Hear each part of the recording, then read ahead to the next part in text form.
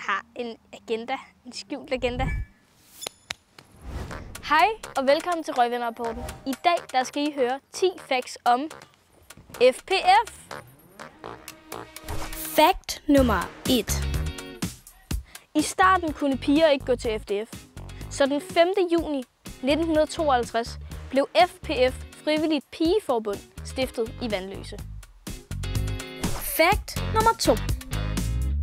Selvom FPF først blev stiftet i 1952, så blev FPF Vandløse oprettet allerede den 5. januar 1951.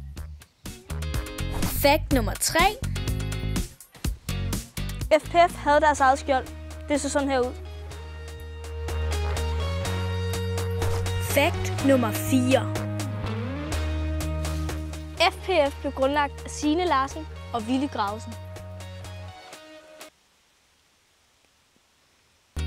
Fakt nummer 5.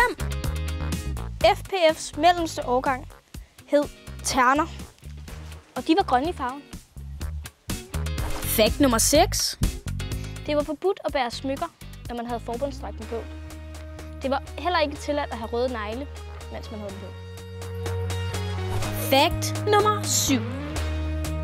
I 1956 blev den første landslejr afholdt for pigevæbnere på sletten.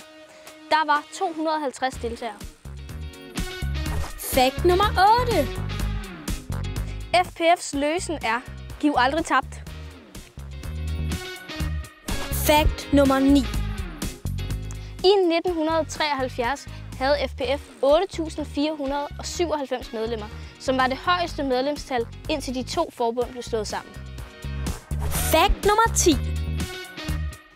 FPF blev slået sammen med FDF i 1974, og dermed skiftede de også navn til Frivillig Drenge- og Pigeforbund. Tak fordi I så med i den her video. Hvis I har en øh, idé til, hvad vi skal lave en 10 facts om næste gang, så kan I lige skrive en kommentar. Ellers så like og subscribe!